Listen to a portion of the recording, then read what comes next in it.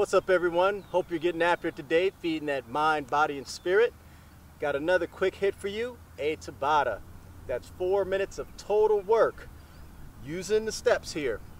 We only got two exercises, but with two individual legs, that's gonna give us four total rounds. Each round is 20 seconds, followed by a 10 second little breather, and then we're gonna cycle back through them again. There's no excuses, so get it done.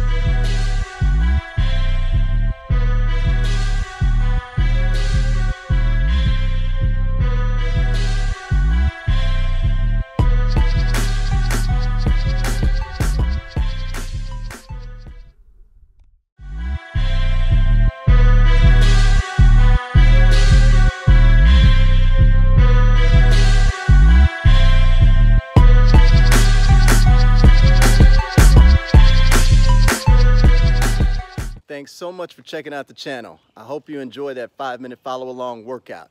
If you want to see more, make sure you check out the other playlist. And if you want to learn how to create your own Tabata, check in the description below for the link. I hope you liked the video. If you did, make sure you like it. Let me know what you want to see in the future by writing it down in the comments below. And if you're new here, make sure you subscribe. Keep feeding that mind, body, and spirit, and get after it. Thanks.